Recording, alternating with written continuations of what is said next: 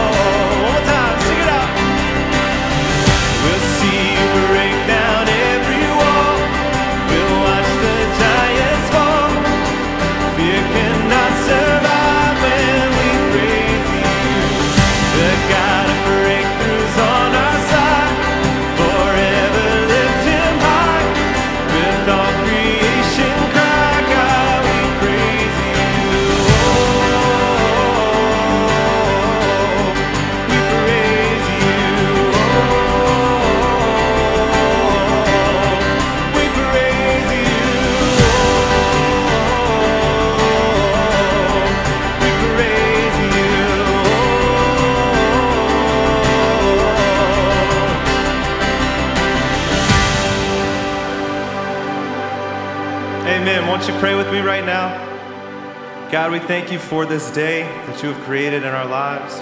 We thank you for our lives. With all that we are, with all that goes on, still, God, we praise you. Prepare us now for this message with Dr. Baird. This worship this morning is all in your glory, all to your Son's name that we pray. Amen. Happy New Year! 2021 AD. Anno Domini. Do you know what that means? Anno Domini is Latin. It's the year of our Lord.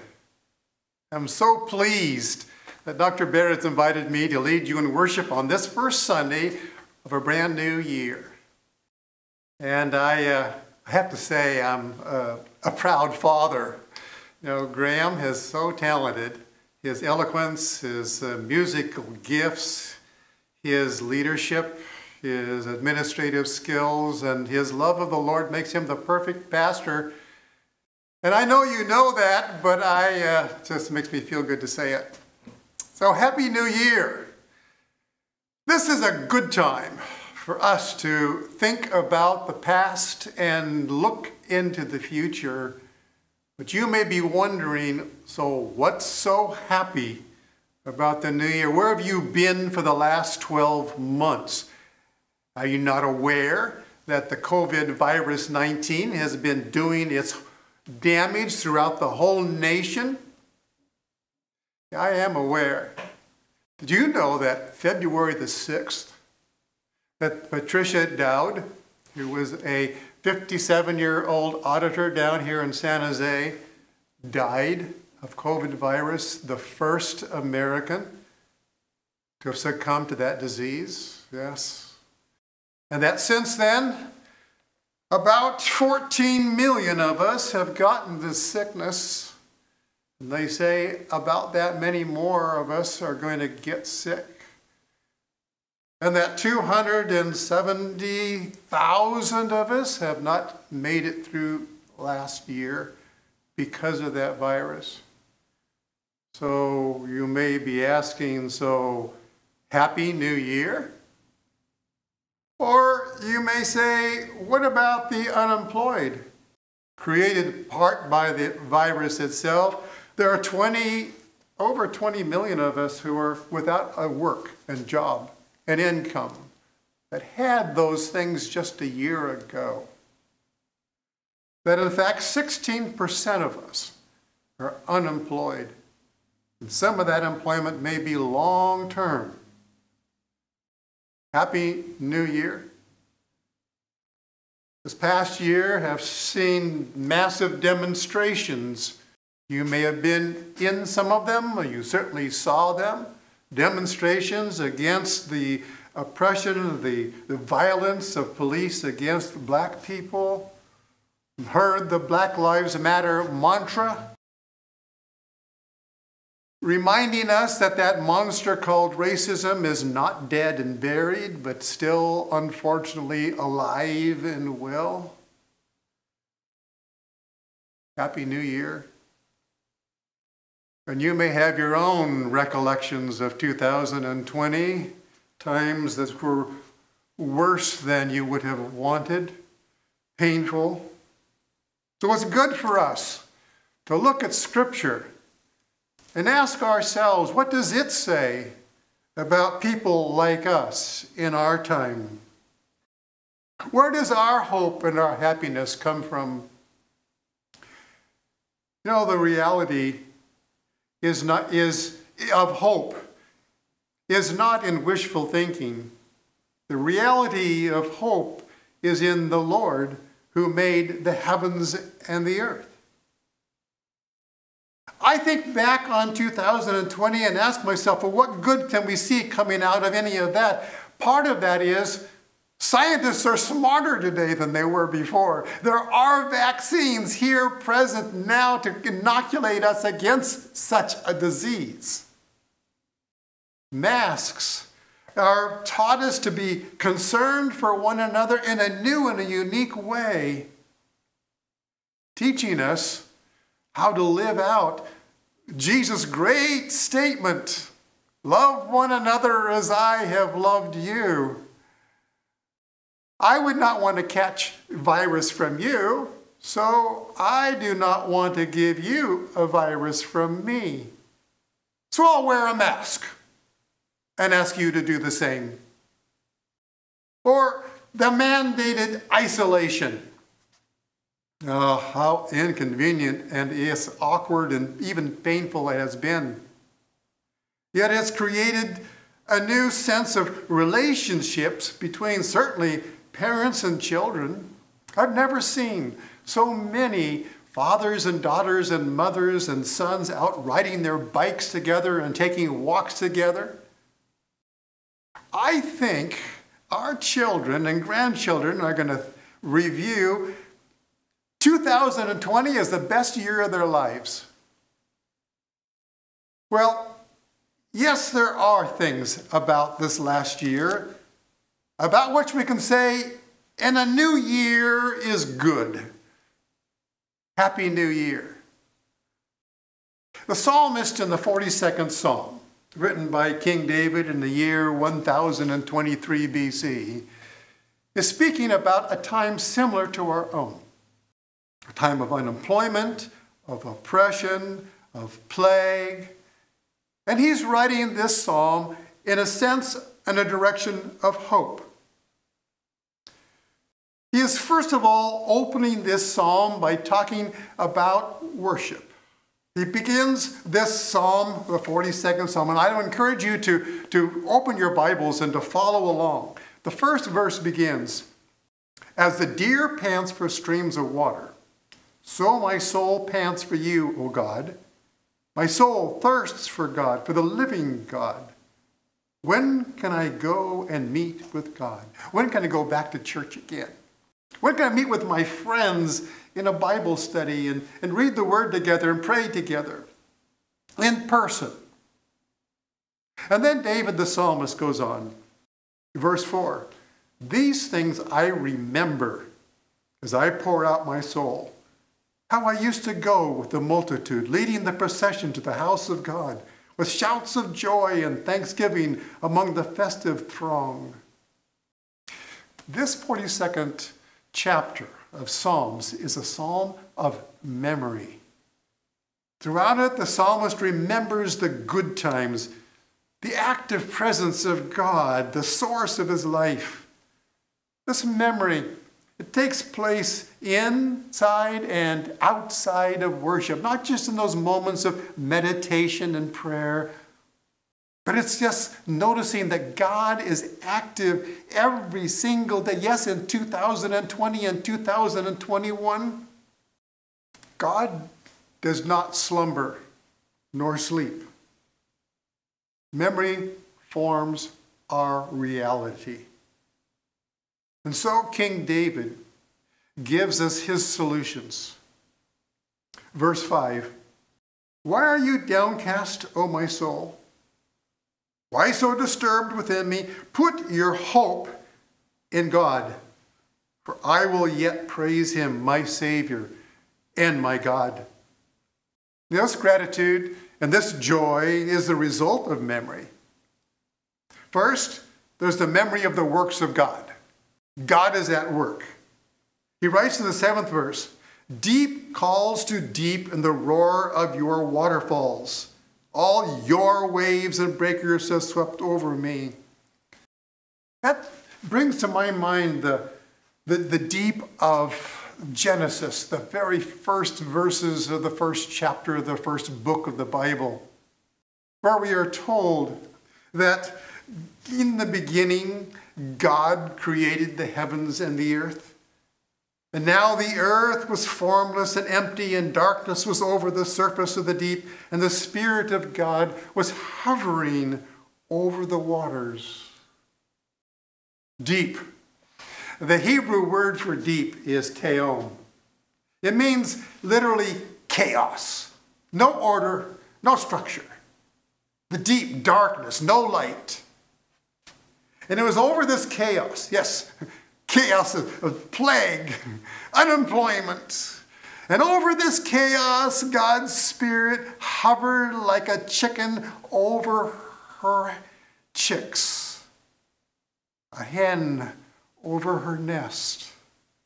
And God's Spirit hovers over our chaos.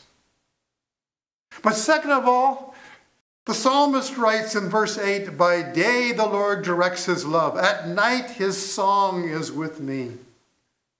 Day or night, 2020, 2021, God neither slumbers nor sleeps. His presence is constant, says King David. Sir James Barrie, who wrote Peter Pan, wrote also God gave his children memory that they might have roses in December. Now, here in Burlingame, we have a relatively temperate climate. And we've had beautiful roses, but not today, not in January. But they were beautiful in July. And it's because we can remember the roses of July that we can now have hope for the roses in June, this next June. The memory is the source of our hope, the promise.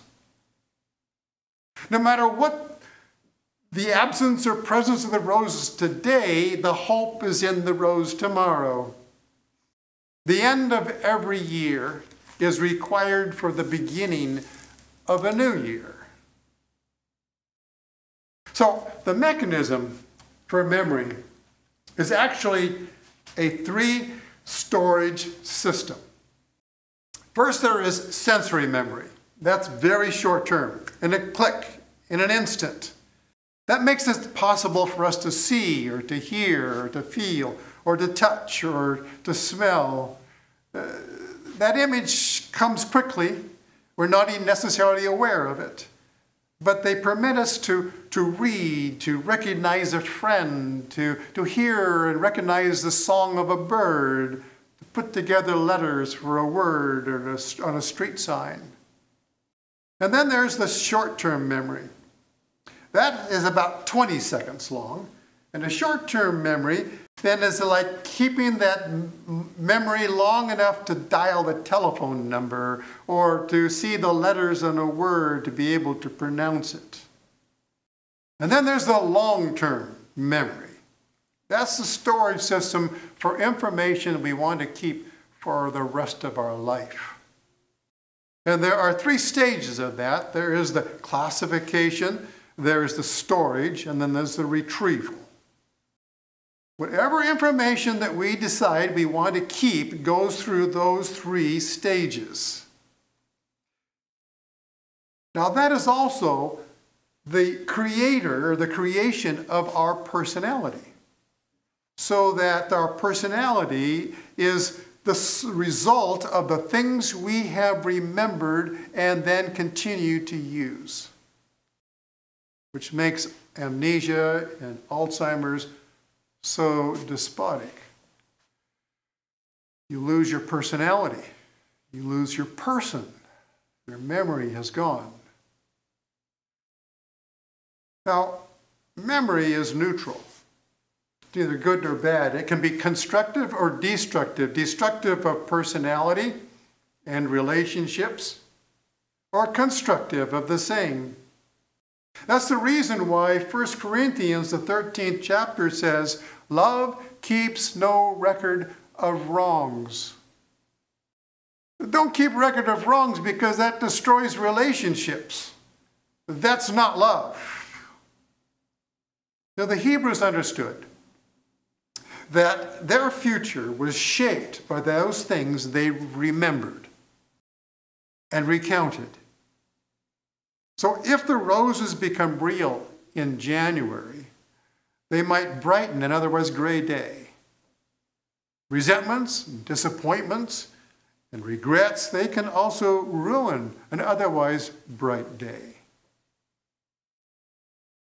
The miracle of memory is one of the greatest miracles, but one even greater than that is the miracle of healing in the human body.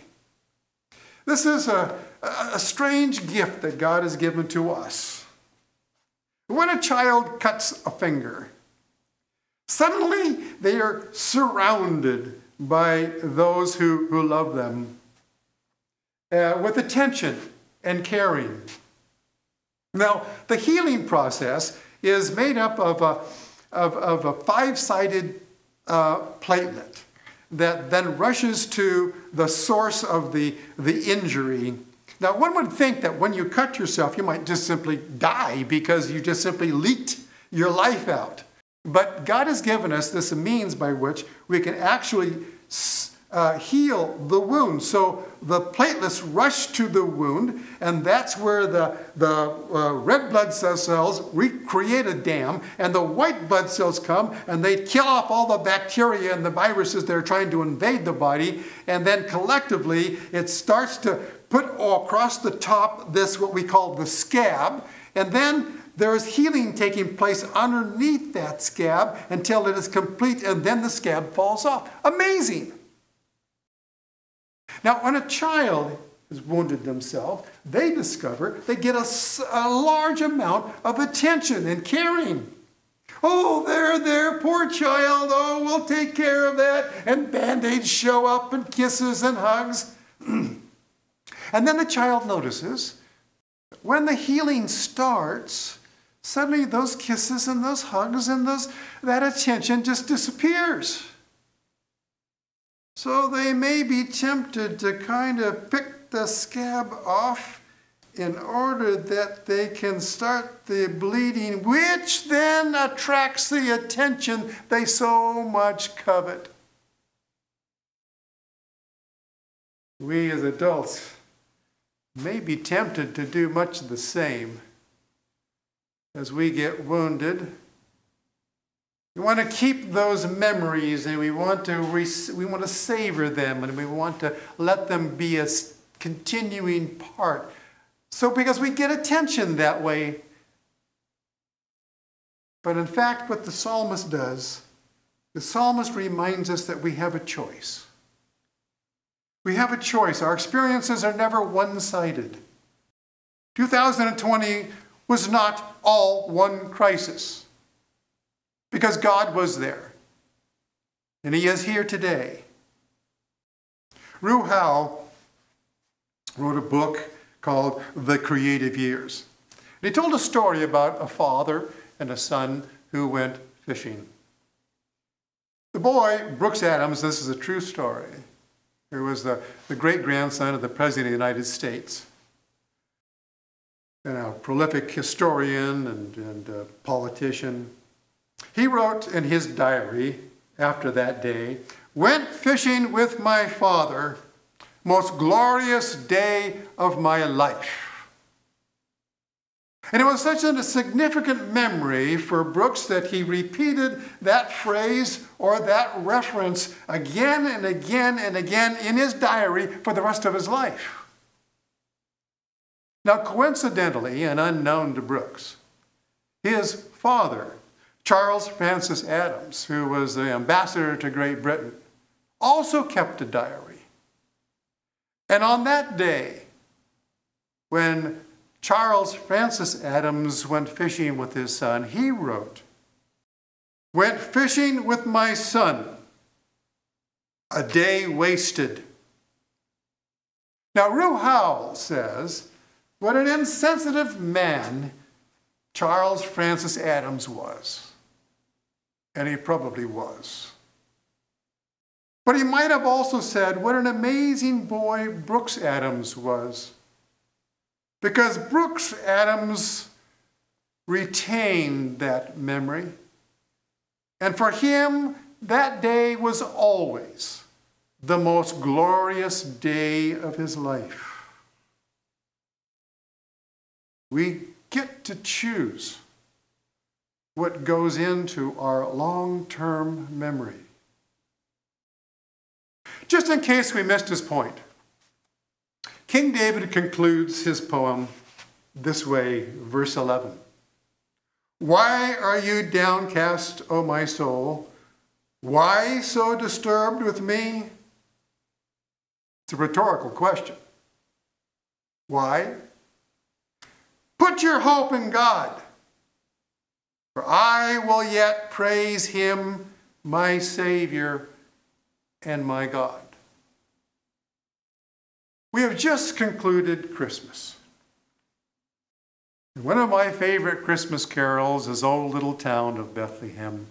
And in that carol are these words The hopes and fears of all the years are met in thee tonight. Indeed all the hopes and fears for this new year are met in the Lord today. There has been alleged that there is this conspiracy where unseen forces are arrayed out against us. I believe that's half true. There is an unseen force out there, but it's not arrayed against us. It's arrayed for us. And his name is Jesus. And he's bringing his kingdom into this world. Our hope is in the Lord, said the psalmist. And it is there that we will find the ability to say, Happy New Year! Let us pray. Oh, Heavenly Father, as we enter into this new year, may it be the most glorious year of our lives. Give us memories worth retaining and forming relationships and personalities that will glorify you.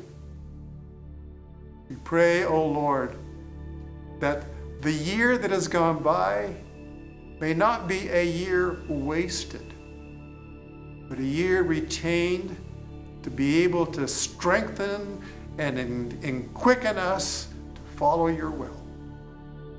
We pray these things in your name. Amen.